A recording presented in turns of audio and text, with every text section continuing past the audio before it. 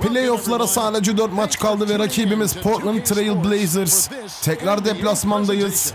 Zorlu bir ekip, zorlu bir maç geçmesini umuyorum. Bunca kolay rakipten sonra herhalde bizi belki de streak'i bozacak takım Portland Trail Blazers olabilir ama gene de biz bozulmaması için elimizden geleni yapacağız. Etkileyici bir maç olmasını, güzel şeylere sahne olmasını beklediğim bir maç bu maç. Hava atışı yapıldı, bakalım neler olacak.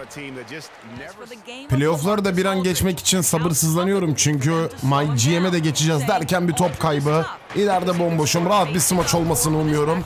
Öyle de oluyor zaten. Çift elle bırakıyoruz. Kendi adımıza ilk sayımızı etkili bir şekilde alıyoruz. Maçın kafa kafaya gideceği baştan belli. Güzel bir maç olacağını da umuyordum zaten. Ginobili bir boş bir onu besleyelim dedim ama hemen kapattılar. Damian Lillard'a karşı oynamak da ayrı bir zorluk ligdeki en iyi point guardlardan biri. Acaba Golden State'e karşı ne yapacaklar playofflarda onu da çok merak ediyorum ama Davis'e bir poster geldi. Damian Lillard beni orada savunmayı reddetti.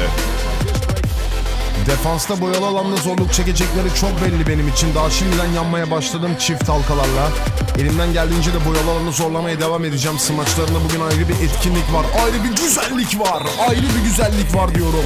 Tekrardan bir cutback geliyor. Rakibi de mola itiyoruz.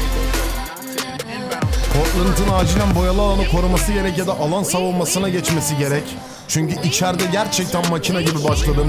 Gördüğünüz gibi alıyorum perdeyi indiriyorum. Alıyorum perdeyi cutbackleri bir bir indiriyorum. 10 bin fan daha. Sanki bir bug bulduk gibi. Yani ısınmamız bitmiyor arkadaşlar. Öyle bir durum var ki tekrardan şansımızı deneyeceğim. Tekrardan içeri doğru yaslanacağım derken bu sefer olmadı. Bu sefer olmadı. Ama tekrardan şansımızı denemememiz için hiçbir sebep yok. Süre de azalmak üzere. Zaten şansımızı deneyeceğim. Zorlama bir şekilde bıraktılar beni ama yeniden bitirmeyi başardık. Bu alanda bugün gerçekten tam bir seri katilim ya. Smaç makinasıyım öyle diyeyim yani. İlk çeyrekte zorlu geçecek havası almıştım ama çok erken konuşmuşum. Henüz gerçi hala erken ama 12 fark yakalamak oldukça ikinci çeyrekte. Sağ tarafta Danny Green bomboş. Üçlükte bırakmamanız gereken adam o. O adamı bırakmayacaksınız. O adam cezayı keser.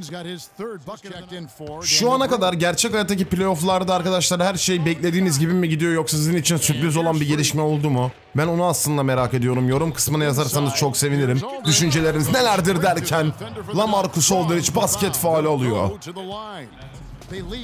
Muhteşem bir oyun ortaya koyuyoruz gerçekten. Farkı 17'ye çıkardık.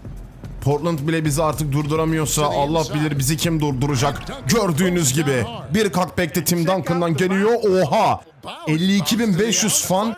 Bu normal bir şey değil. Sanırım bir rekoru egale ettik. Bir sonraki asisti öğreneceğiz bunu. Bu pozisyonda kesin asist kovalamaya çalışacağım arkadaşlar. Çünkü rekoru egale ettiğimiz için yüksek fan geldi. Şimdi rekoru geçtiğimiz anda anlayacağız ne olduğunu. Bir lead pass denedik. Evet geliyor. Neymiş bakalım? 1164 asist ile bir NBA sezonundaki asist rekorunu kırmayı başarıyoruz arkadaşlar. Zaten çok belliydi performansımızdan. Her maçta sayımızdan yüksek asistimiz vardı. Rekorları kırmaya devam ediyoruz. Smaç makinesi olarak başladığımız boyalı alanda tekrar alevlenmeye başladığımız için neden yenilerini, yeni güzel smaçları bir kez daha denemeyelim? Bir kez daha eklemeyelim. Damian Lillard çok yavaş kalıyor. Yavaş kaldığı için smaçlar gelmeye devam ediyor.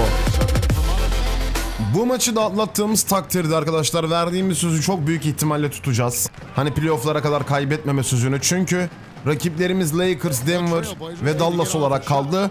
Top çalma var. Beste beni kendi köşeme doğru geçiyorum. Hala elim yanıyor. Üçlükte bir şansımızı deneyelim. Üçlükte bir şansımızı denedik. Hareketlere bak hareketlere. San Antonio Spurs'un geçtiği uçuşu kanıtlayan, geçtiği uçuşu simgeleyen bir sevinç bu arkadaşlar. Kartal gibi kollarımızı açıp kendi sahamıza dönüyoruz. Maç benim için maç olmaktan çıktı da sanki smaç yarışmasına döndü. Çünkü her pozisyonda her türlü şekilde smaçta bitirmeyi başarabiliyoruz. Bu da onlardan biri. Artık birinin beni gerçekten durdurması lazım. 5000 fan daha.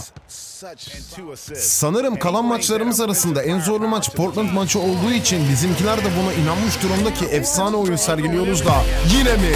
Abi o kadar çok bastım ki artık zevk vermiyor ya. Gerçekten zevk vermiyor. Coşkuyla anlatabilecek bir durum kalmadı ortada. Cutback'ler doldu taştı bu maç ya. Bu maç bana şunu gösteriyor. Hani oyunun en başında, kariyerin en başında kendime balans point guard yaptım da aslında keşke inside olsaymışım. Şuna bakar mısınız?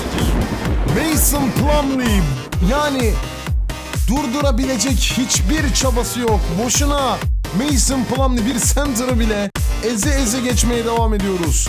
İnanılmaz, gerçekten inanılmaz ya.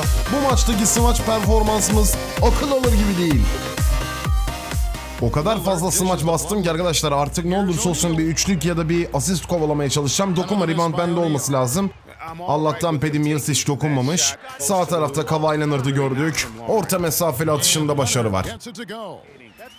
Ciddi anlamda bir dominant bir oyun var ortada. Ya böyle cut-off'a gelmeye çalışma sakın ya. Gözünü seveyim biz bunları yemeyiz aslanım. Allah aşkına kullan şu pike. Vallahi smaçta bitirmek istemiyorum artık da Tony Parker klasik. Gene kafasına eseni yapıyor.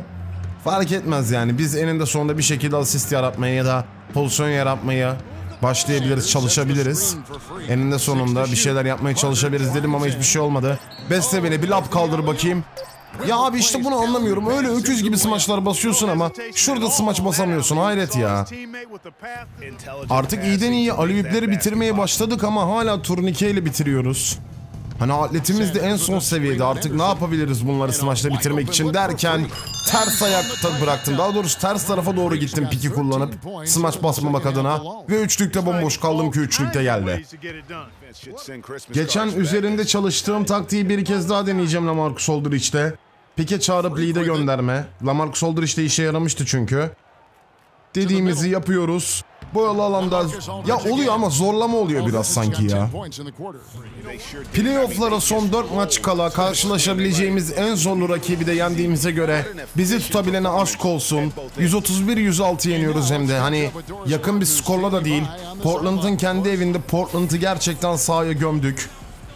Benim performansım, gene takım arkadaşlarımın performansı her şey gayet güzel gitti. Field golumuz çok yüksekti. İstatistiklere geçelim. 38 dakika oyunda kalmışız. 39 sayı, 9 rebound, 27 asist. Artık o kadar fazla alıştık ki buna. Hani triple double laneti gibi bir şey var üstümüzde diyebiliriz. 3 blok ve 3 top kaybı. Yeni video bombardımanında sizlerleyim arkadaşlar. Bu video bombardımanın part 2 versiyonu. Bu video bombardımanıyla da normal sezonu tamamlayacağız. Ve playofflara geçmiş olacağız. Onun için takipte kalmayı unutmayın. Şimdilik hoşçakalın. Bak abi bu hücumu çok yapıyorsunuz ama bunun sonucu çok belli. O top çalınacak ya. Besle beni. Güzel bir smaç için gidiyorum. Güzel bir smaç için gidiyorum bebeğim. İşte budur ya.